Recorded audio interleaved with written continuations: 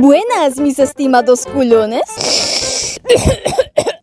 ¿Cómo se encuentran el día de hoy? Espero que mal, chinguen a su madre. Con amor, ¿eh? Para que vean que yo quiero a mis subs. El día de hoy vengo a criticar a tu madre. Así es, será un video corto, conciso, directo y muy constructivo. Para que en tu próxima vida elijas mejor a tu madre. Primeramente, hablemos de lo gorda que es tu madre. Tu madre es tan pero tan gorda que en una competencia de gordas no la dejarían entrar porque no aceptarían profesionales. Pero eso sí, daré crítica buena y mala, así que aquí les va algo bueno de esto. Mientras más gorda esté tu madre, mejor cocina. Es un dato comprobado científicamente por la universidad de tu puta madre. Si yo voy a la casa de mi amigo y veo que su madre es gorda, voy a estar esperando con ansias el almuerzo. Otro punto que tengo es que tu mamá te pega. Y me dirás tú que tiene que ver eso con la crítica. Bueno, si tu mamá te pega, entonces por huevo es latina. Y si es latina, entonces es ne Digo, si es latina, entonces es pobre. Y si es pobre, entonces no tiene dinero. Y si ella no tiene dinero, tú menos. Y si tú no tienes dinero,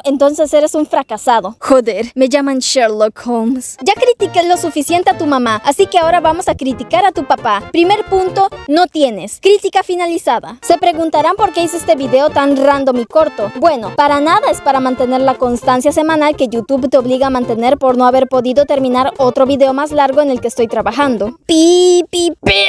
Hasta aquí llegó mi crítica 100% constructiva. Ahora como recompensa pasa el pack de tu madre. Me he creado un TikTok y se preguntarán para qué mierda. Eh, pues porque sí, para resubir clips. Y si ando inspirada, pues subiré porno. Nah, no se crean todo, es que ustedes son muy ingenuos. Pero bueno, no creo en el destino, pero sí procrastino. Gracias por ver el video y nos vemos la próxima semana si es que ahora sí logro terminar el video que tenía planeado. Chao.